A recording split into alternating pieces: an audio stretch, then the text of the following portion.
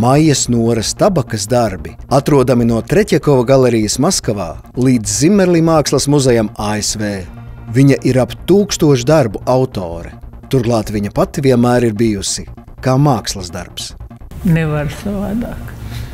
Tas ir dzīve, tā ir mana dzīve. Es, es dzīvoju tajā iekšā. Un es esmu gleznojusi to savu, savu dzīvi, savu nu, dzīvi gājuši uz priekšu. Es esmu visu laiku sekojusi viņai līdzi.